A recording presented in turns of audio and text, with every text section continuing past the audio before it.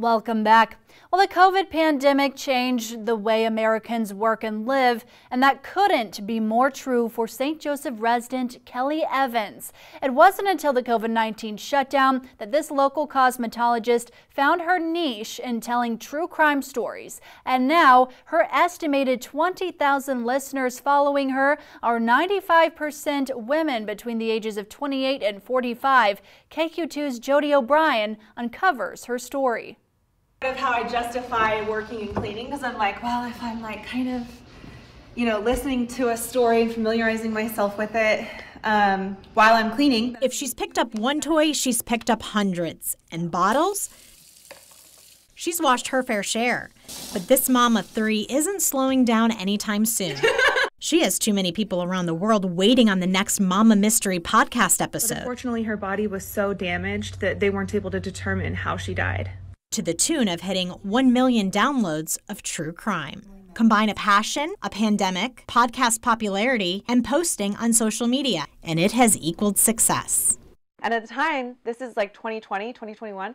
I was like, I don't even know what a podcast is. I don't listen to podcasts. I wouldn't know the first thing about how to do that.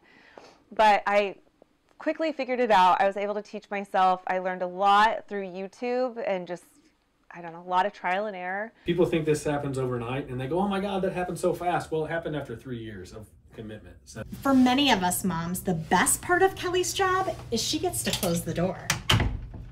Contrary to what her children assume, what goes on behind closed doors is far from self care. Obviously, this is a fun space. It looks like a living room, kind of. So I think it was hard for them to be like, are you really working in there? Or are you just hanging out watching Bravo?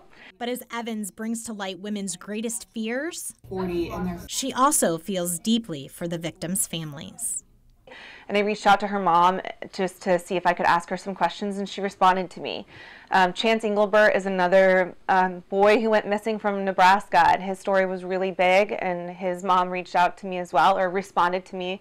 So I mean, I, I value celebrities and the like what they're able to do for the podcast, but I also truly do value the victims' families. Jody O'Brien, KQ2 News.